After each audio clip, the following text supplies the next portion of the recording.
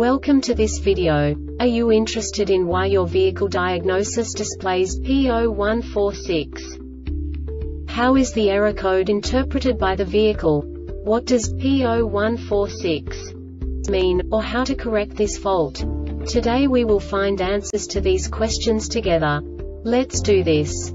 First, let's look at the history of diagnostic fault code composition according to the OBD2 protocol, which is unified for all automakers since 2000. We divide the electric system of automobile into the four basic units. Powertrain, body, chassis, network. This distribution is defined in the first character code.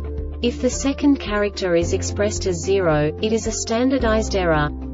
In the case of numbers 1, 2, 3 it is a more prestigious expression of the car-specific error. The third character specifies a subset of errors. The distribution shown is valid only for the standardized DTC code. Only the last two characters define the specific fault of the group. Let's not forget that such a division is valid only if the other character code is expressed by the number 0. Our website airbagreset.sk produces useful videos for you.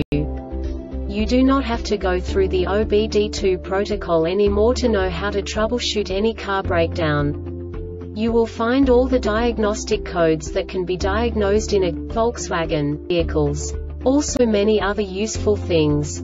The following demonstration will help you look into the world of software for car control units. You unbelievably can move the video a bit further. The error code is split into two bytes consisting of 16 bits. One bit is the basic unit that each computer works with. The bit has two logical states. 0, low level, 1, high level. By combining the first two bits, the basic character of the error code is expressed. The next two beats again determine the second character. The last beat styles of the first byte define the third character of the code. The second byte is composed of a combination of 8 bits. The first 4 bits determine the fourth character of the code. And the combination of the last 4 bits defines the fifth character. A single byte conceals 256 possible combinations.